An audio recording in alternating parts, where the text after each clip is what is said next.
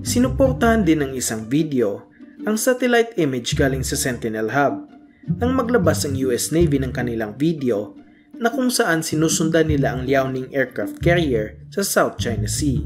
Ayan mga utol, yung mismong video no? Yung aircraft carrier ng China ay sinusundan ng mga destroyer ng US Navy. Okay, tama yun no, na nila para hindi magtangkang, oh, pan, Totoo yan ha, hanggang ngayon ay nakapalibot sila sa bahagi ng West Philippine Sea pero hindi na po sila nagtatangkang pumasok sa teritoryo natin kagaya ng dati nilang ginagawa. At dati yung mga radio challenge, kung napanood ninyo, nung unang paglalayag o naglayag kasi yung isang uh, jet fighter ng US sa uh, bahagi ng yan ng South China Sea ay niradyohan, 'di ba, ng uh, jet fighter din at saka ng aircraft carrier ng China na nagsasabing lumilibot kayo sa aming karagatan. O parang ang tugon doon ng US eh hindi hindi nyo karagatan ito. At ang aming paglilibot dito ay naaayon sa batas. Parang ganon, yun nangyari. Kung napanood nyo yung video na yun, so nilabas ko na yung mga utol. Pero uh, ang ibig ko sabihin dito, dahil nandyan na yung ibang pwersa, particular yung US Navy sa South China Sea, eh itong mga Chekwa na to ay nagdadalawang isip na sa kanilang mga balak. Mga karunungan kaalaman, teorya, kasaysayan, hiwaga at mga bagong tuklas. Alamin natin, alamin natin. Dito pa rin tayo sa update na nangyayari sa West Philippine Sea. So alam nyo naman ang sigalot. Ang init ng sigalot dyan sa West Philippine Sea sa pangaagaw ng teritoryo ng China hindi lamang sa atin sa Pilipinas. Bagkus sa iba pang kapitbahay natin mga bansa. Pero eto yung US at ang China ay mukhang nagkakagitgita na mga utol dahil ang ating featured video ay tama na ang laro. Tatlong US destroyers pinalibutan ang aircraft carrier ng China. Yan ang ating aalamin mula kay Sir Alain Defense. Subscribe niyo mga utol, like niyo na rin yung video. Huwag na natin itong patagalin. Game na.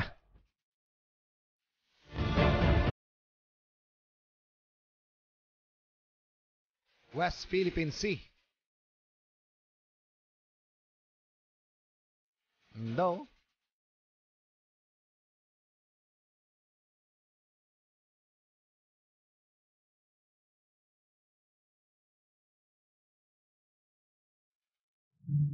Lalo pa ring umiinit ang sitwasyon sa South China Sea at sa West Philippine Sea dahil sa presensya ng Theodore Roosevelt Aircraft Carrier Group ng Estados Unidos at ang Liaoning Aircraft Carrier Group ng bansang China Teka lang pala mga utol eh. Dahil may isang komento na nangyari no, dito sa ating mga featured video no, na nagsasabi na West Philippine Sea po yan. Opo, uh, akala kasi nila nagkakamali ako ng sinabi nung sinabi kong South China Sea. Kasi po yung West Philippine Sea ay bahagi ng South China Sea dati.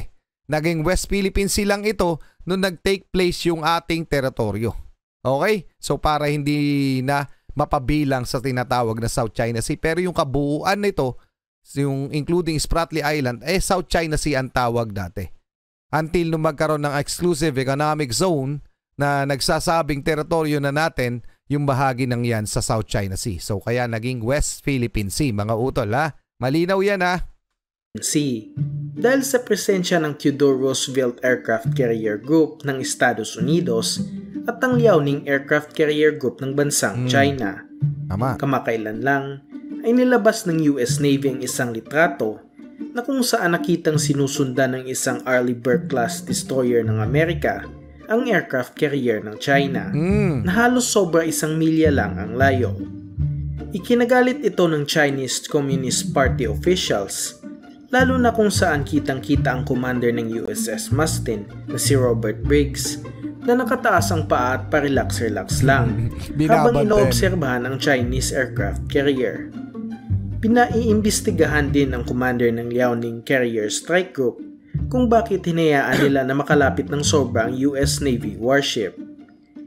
Hindi pa dito nagtatapos ang kalbaryo ng Chinese Navy.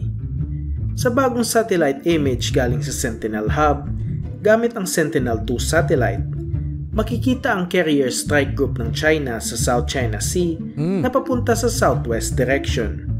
Ang nakalabel ng number 1 ay ang Type 001 Liaoning aircraft carrier.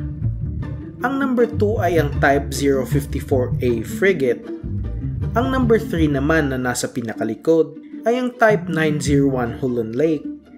At ang number 4 ay ang dalawang Type 052D Luyang 3. Sa suma total ay mayroong limang warships sa Liaoning Carrier Group ng China. Makikita naman ang tatlong number 6 na nakapalibot sa carrier group at sinusundan ito. Ito ang mga Arleigh Burke-class guided missile destroyer ng Amerika na sobrang lapit lang sa mga Chinese warships. Ang tatlong barko na ito ay ang USS Mustin, USS Rafael Peralta at ang USS Barry. Wala pang pahayag ng Chinese government sa insidenteng ito.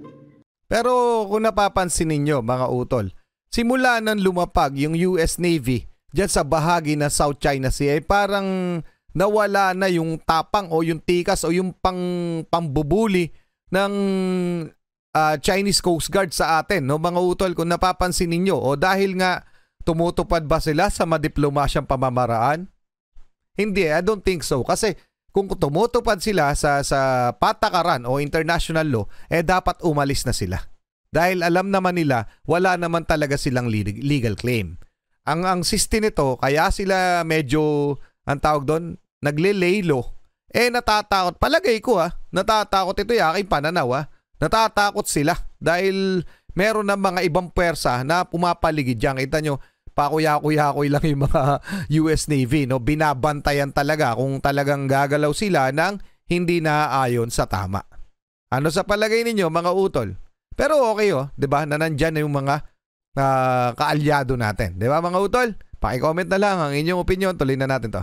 Ngunit isa ito sa nagpapatunay na seryoso na ang bansang Amerika sa mga banta nito laban sa bansang China. Tama. Sinasabing mayroong isa pang warship ang Amerika sa unahan, ngunit hindi na ito naisama sa satellite image. Napabalita din itong April 12 lamang na tumirik ang Liaoning aircraft carrier habang naglalakbay sa Taiwan Strait at nagsimula lang ulit maglayag nitong ikalabing apat ng Abril lamang. Makikita din sa isang satellite image galing sa Planet Labs na pinaghinala ang isang Ohio-class nuclear submarine mm. na naglalayag din sa South China Sea. Ngunit hindi pa ito kumpirmado at kung totoo man ay isisikreto pa rin ito. Sinuportahan din ng isang video ang satellite image galing sa Sentinel Hub nang maglabas ang US Navy ng kanilang video na kung saan sinusundan nila ang Liaoning aircraft carrier sa South China Sea. Ayan mga utol, yung mismong video no? Yung aircraft carrier ng China ay sinusundan ng mga destroyer ng US Navy. Okay, tama yun, no? Na ginaganyan nila para hindi magtangkang, oh, pan, totoo yan, ha? hanggang ngayon ay nakapalibot sila sa bahagi ng West Philippine Sea. Pero hindi na po sila nagtatangkang pumasok sa teritoryo natin kagaya ng dati nilang ginagawa.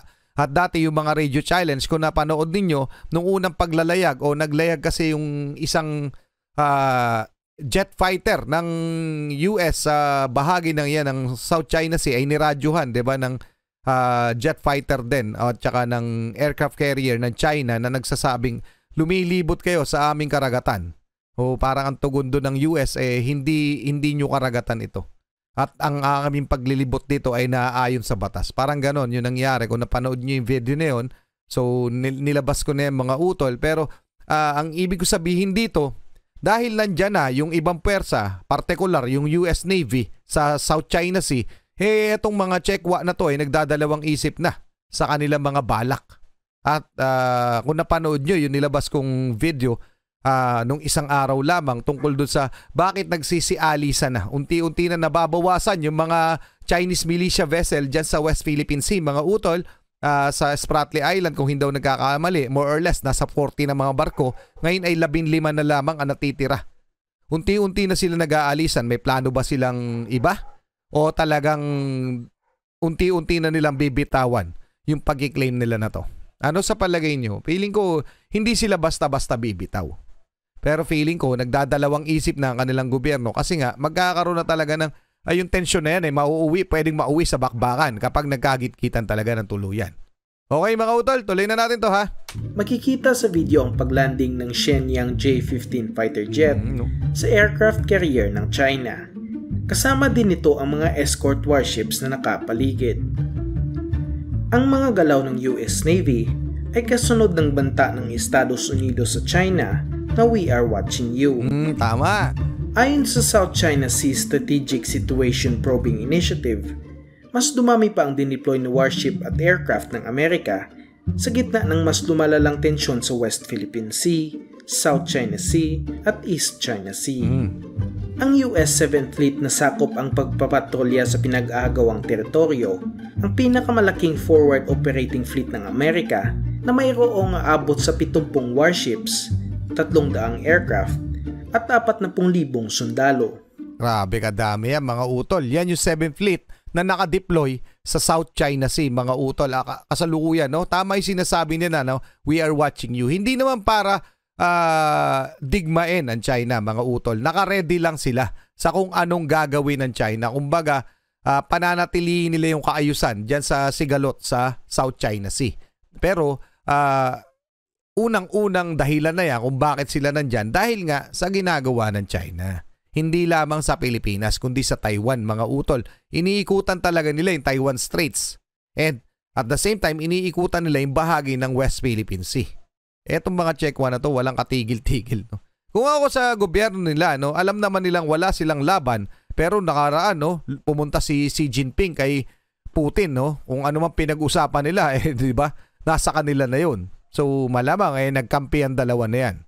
Pero kahit ano pa man, eh, wala silang laban sa United Nations at sa, uh, eh, sa EU, sa EU na lang, no, European Union at sa United States. Okay, bukod pa sa iba pang kaalyado sa South uh, sa South uh, sa South Southeast Asia, mga utol. Tuloy na natin.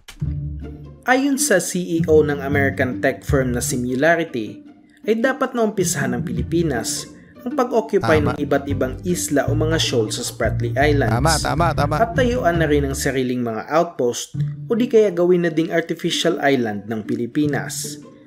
Sa pamamagitan daw nito, ay hindi na makukuha ng bansang China ang mga natitirang shoal sa Spratly Islands at Google mas mapapaigting ang pagmonitor sa teritoryo ng bansa.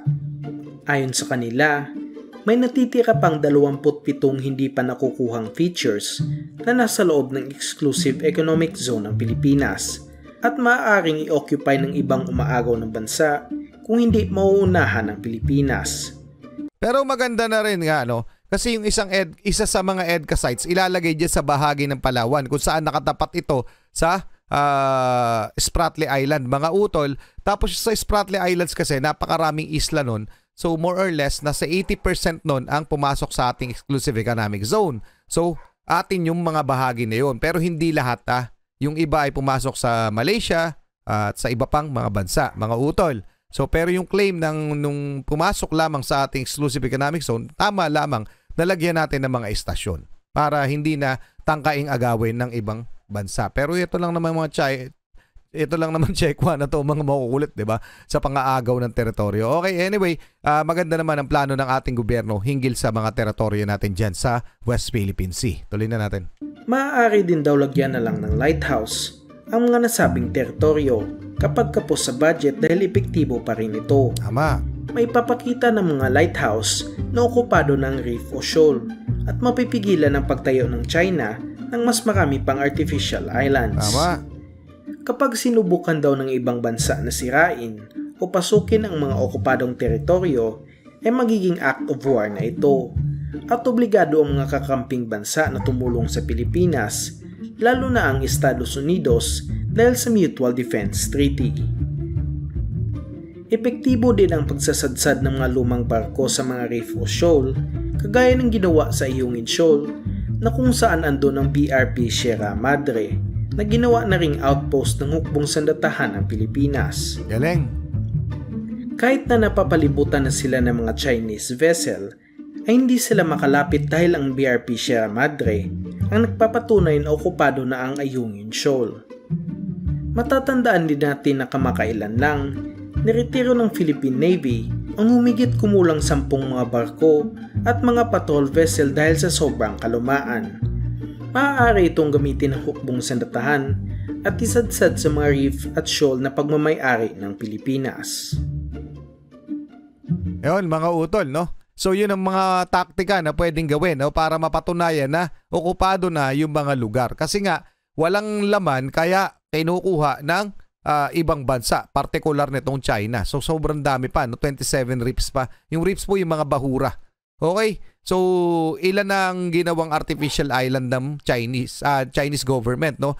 Partikular sa Scarborough Shoal sa may tapat ng Sambales. Mga utol na ating teritoryo yon. Okay? So dito sa bahagi ng Spratly Island o sa West, West Philippine Sea eh uh, halos nag-aagawan pa rin. Pero ang masasabi ko talaga diyan, pinaka the best na gagawin ng China eh iurong ang kanilang mga navy o yung China Coast Guard na wag na nilang pakialaman yung teritoryo natin. Kasi nga hindi rin naman tayo papayag at lalong-lalo na magagalit ang mga kaalyado nating bansa kasi nga nasa panig naman tayo ng batas. Okay mga utol, pa-comment na lang ang inyong mga komento. Maraming maraming salamat sa iyo Sir Elaine. Sir Elaine Defense, para dito, paki-subscribe nyo na lang. Paki-like na rin yung video mga utol. Muli ako si Target Achilles in behalf of the Real South Pride Production. Okay, nagpapasalamat sa walang sawa niyo pagsuporta. Kayo mag-iingat mga utol. Keep safe, God bless at saludo po sa inyong lahat. Maraming maraming salamat po.